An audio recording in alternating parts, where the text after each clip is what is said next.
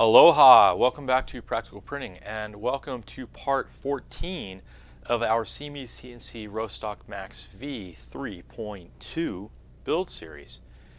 If you haven't been following along, I strongly urge you to pause here, go check out the earlier videos in the series so that you can be on the same page as where we're at in the build process.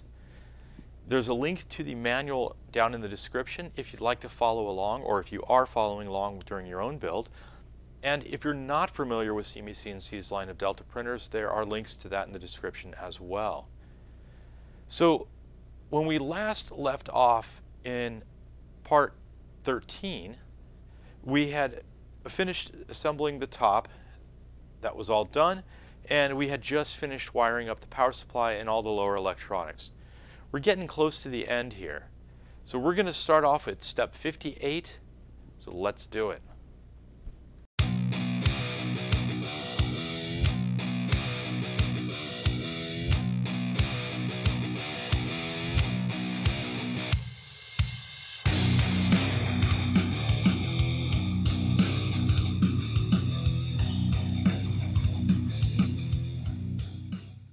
Okay, we're not going to need a lot of tools for this step.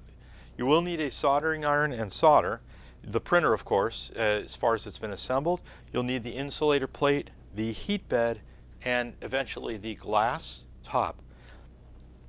There's also a small bag that has a resistor, a diode, and it's not going to focus on that, but there's a resistor, a diode, and some heat shrink inside of there do not throw this bag away. You'll also notice these yellow strips on it. That's Kapton tape, and that's going to be used in the step as well. The bed is just, I guess, a convenient place to put that. So it'll peel off from there. You're also going to need wire strippers and a set of needle nose pliers, and of course I always have flush cuts handy, and we'll need the solder. So let's switch cameras and get started on that.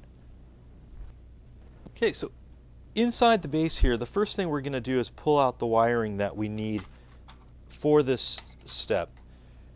We're going to need the power and the ground that we have running. The, the power, the red, 12 volts, plus 12 volts, um, should be coming from the power supply. The black will be coming through the Y tower here as well as the thermistor leads. So we're going to go ahead and pull those out, trim them off all to be about the same length.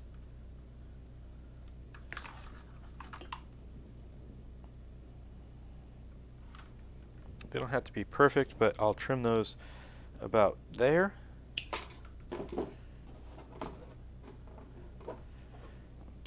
And then what we're going to do is take this insulator plate and pull those all up through there.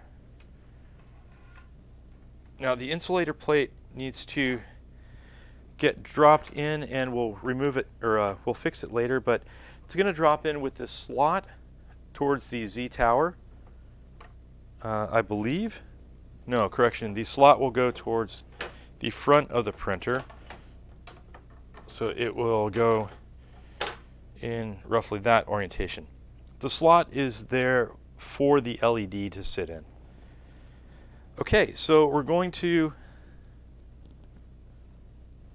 just set these wires aside for the moment. And we're going to bring in the heat bed. Um, now we're going to need to solder on this, so I'm going to go ahead and slide the printer out of the way so we can just work directly on the table at first. The first thing that I'm going to do is take some solder and I'm going to prep the minus, the 2 plus, the two labeled RES, and the four thermistor pads and we're going to prep those and put a little bit of solder on the pads. I'm assuming you already have your soldering iron heated up and the tip cleaned. And we're just going to tin it a bit going to heat the pad and let a bead of solder flow down onto it.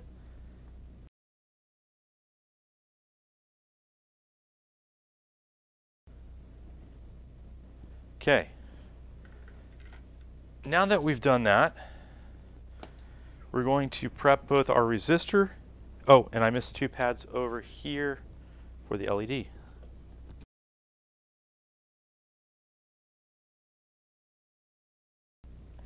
Okay, now we're going to go ahead and open our components bag and take out our three pieces. Now I'm not following the manual exactly step by step here. Uh, the order isn't necessarily significant at this point. Uh, we just need to get it done. So we're going to look at our resistor. The resistor doesn't have a polarity sensitivity. So I'm going to use my needle nose pliers basically to grab it like so and then I'm going to use that to create a bend on it. So that we have a nice even bend there that should be spaced out uh, just about right for here. And it looks like I went a little bit too wide so I'm going to narrow that up with the slightly skinnier part of the needle nose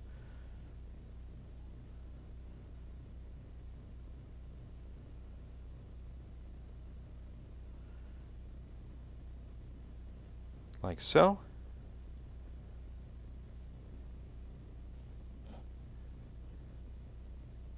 And make sure that's going to fit across the pads like that. Let me move this camera down closer maybe, I can. Apologize, we're fighting the glare. I can't see with that without that overhead light in here. You can't see with it, so let's try to work around it as much as possible. Okay, now that that's there, and we have the little bit of solder on there, I'm going to use a slotted screwdriver. Prefer a non-magnetic one that does what that.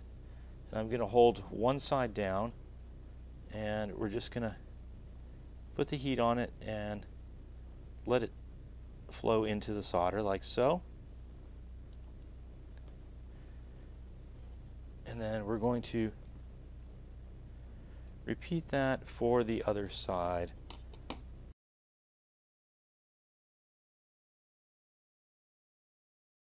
Like so.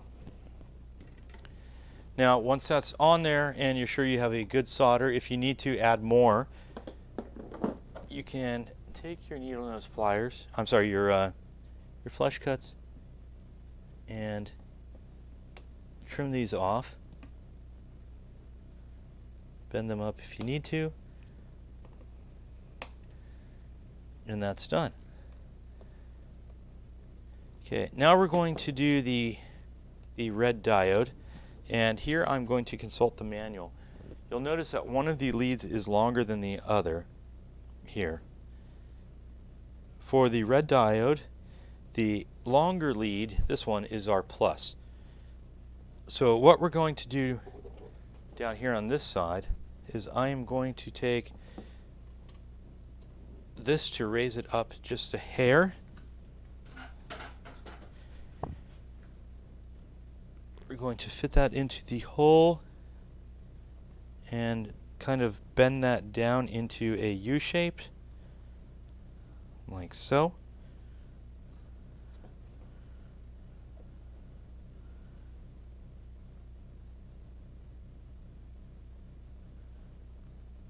And again, you want to make sure your wires aren't touching, that you have the proper orientation.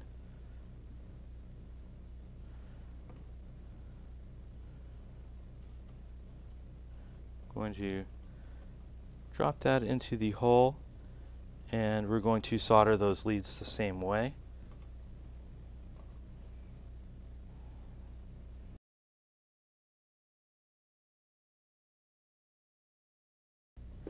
Okay, now one thing you want to do here is see where that pushes through the top. Once you get it soldered on, you're going to want to just push it back down with your thumb so that it's flush with the top um, because the glass bed is going to sit on top of there so you don't want it to protrude. Okay, the next and most challenging step here is going to be the thermistor, which is going to go here. Now your thermistor should come. It's a very tiny glass probe and it is very fragile. I'm trying to pick it up to show you now. It should come with a piece of heat shrink on it. You're going to pull that off and you'll notice that there are two wires. So we're going to set that back down for a second. You're going to cut off about 8 to 9 millimeters or roughly the distance from there to there if you scope it out. Hopefully it doesn't fly away.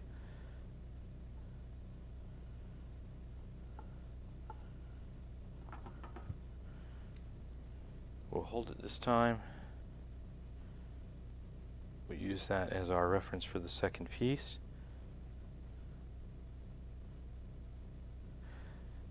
Don't lose that in case you ever need it later to replace the thermistor.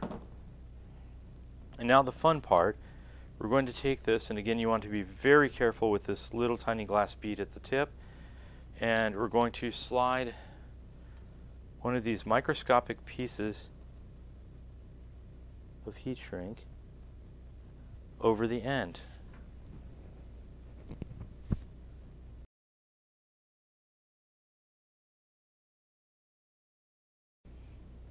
Okay, once those are all the way down at the front, you have to make sure they go all the way up to the bulb without breaking the bulb, but they need to be right up against the end there. Then you're going to just give that a small bend like so for a 90 degree angle and I know that's really microscopic and hard to see. Okay then you're going to set that down into the hole in the center of the bed. And we're going to solder these tiny little thin wires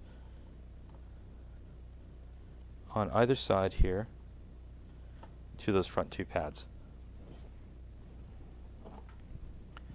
Again, I'm going to use my screwdriver to hold it in place.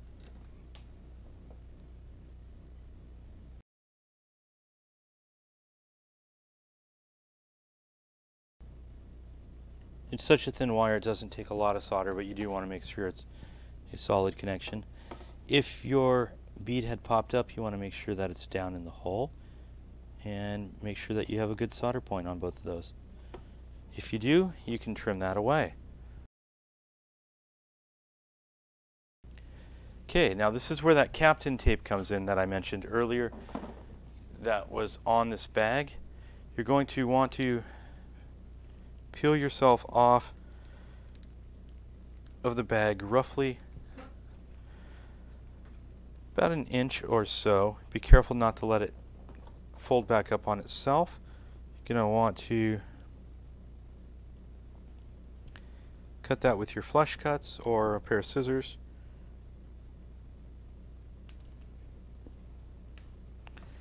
And we're going to use that to hold the thermistor in place like so.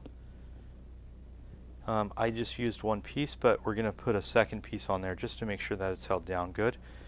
The Kapton tape is special in that it can handle high temperatures. So it's not going to melt or come off as the bed gets hotter. Um, in fact, in the older days of 3D printing, you used to find a lot of times printers were actually, uh, or hot ends were actually wrapped in Kapton tape.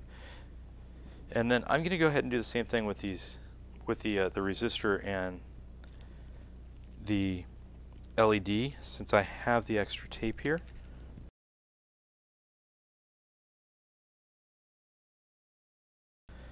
Um, all that's going to do is give us a little bit of insulation, electrical insulation there, uh, should that solder joint or something come loose from heating the bed up.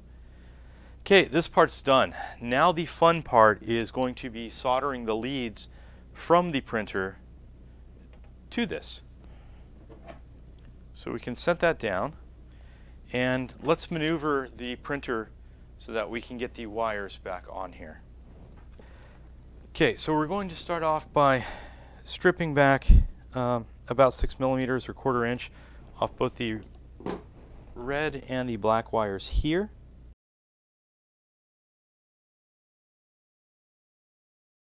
Like so.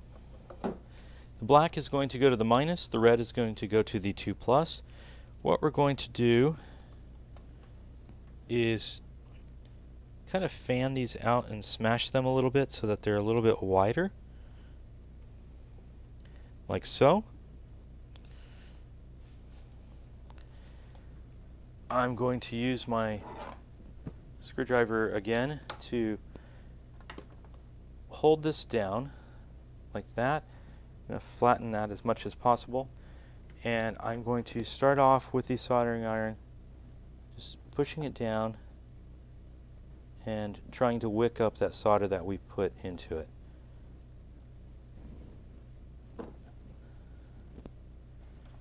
Okay.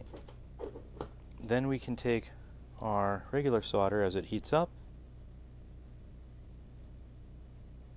and add the rest of it to build that bridge. As you remove your soldering iron, you want to make sure you use your screwdriver to hold it down until the solder hardens or, or cools, I guess, um, would be the word. So make sure that you don't get a cold solder.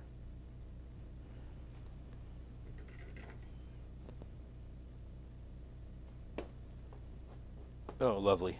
And of course, I overheated that and melted my soldering iron to it. So note to self, don't use a ESD safe plastic solder or plastic screwdriver to hold it down. Let me switch gears here.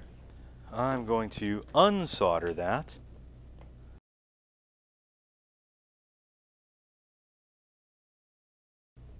Like so. I'm going to cut that off where I melted it through.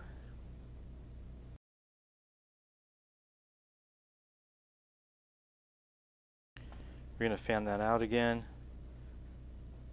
And this time I'm going to heat this up first since we have so much more solder on there.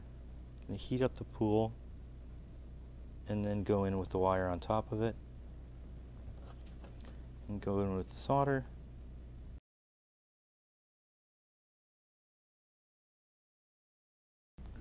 That looks like a good solid solder joint. We're going to pull the red wire around going to fan it out a little bit.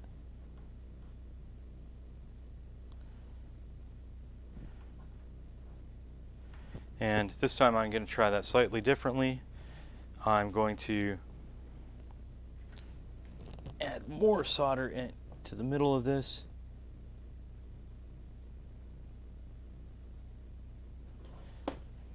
Get a fluid ball.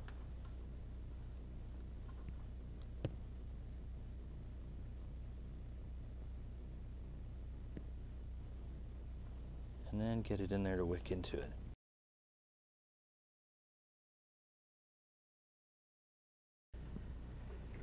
Okay, those are the hard two. So we're going to let those cool for a moment just to make sure that they're good. And then we'll bend them back up out of the way like so. The next two are going to be the two thermistor wires, which are going to solder to these two pads. And again, unfortunately, there's that glare. So I'm hoping that you guys can see this okay. I'm going to take the thermistor wires. These should be fairly painless. We're going to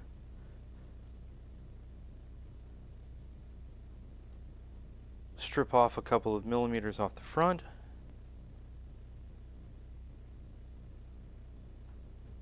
You might smaller wire strippers.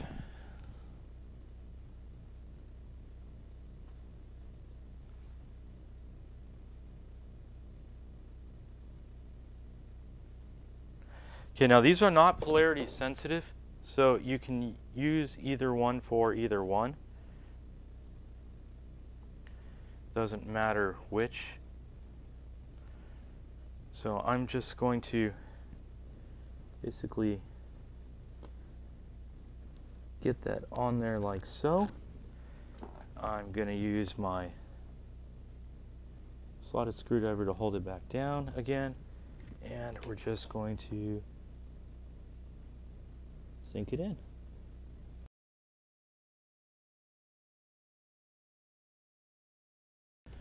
Okay. Now we're going to make sure that those are not joined or touching anywhere. If you have any wire that is exposed on the other side of your solder joint, go ahead and snip that off. And I'm going to go ahead and, since we have some extra, put some of the tape on that as well.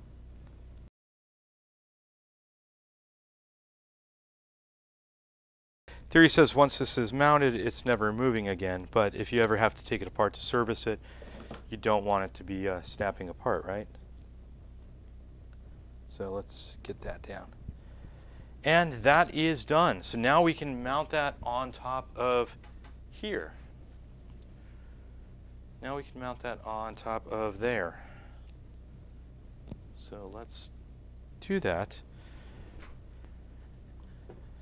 I'm going to lift this up and lift this guy up.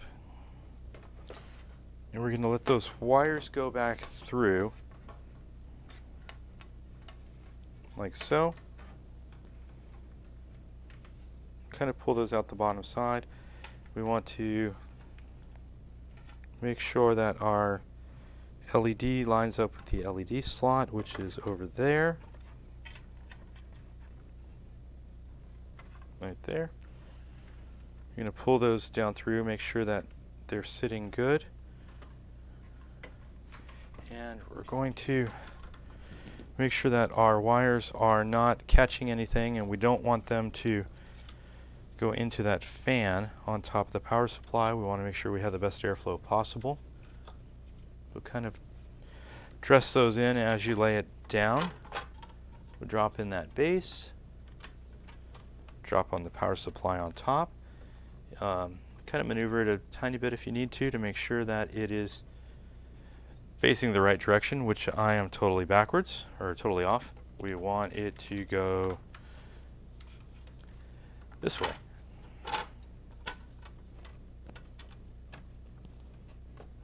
You want that red, the SeeMeCNC to face the word Rostock Max at the front, and you want that red there.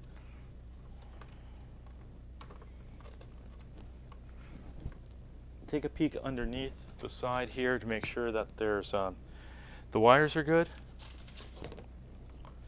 You can go ahead and drop your glass bed on top like so. And you can now use these arms in a cross pattern like so. to hold your bed on. And if it's not sitting anywhere, then you correctly, like this back corner isn't, which you guys can't see on the camera, but right there, it's not sitting correctly, then we need to loosen it up and find out why.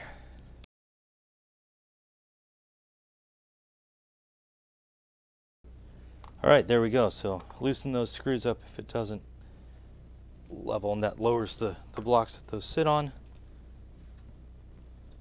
and now you should be able to tighten those down. So that wraps it up for step 58 and the subassembly of the bed. That's it for this step. So there will be one more segment after this in the construction process where we will finish covering up this plate and install the acrylic panels on the top. We'll install the missing panels down on the base to finish that up. We'll install the arms and the effector and we'll plug it in and we'll do up a power up test. So we'll see you next time on Practical Printing. Aloha.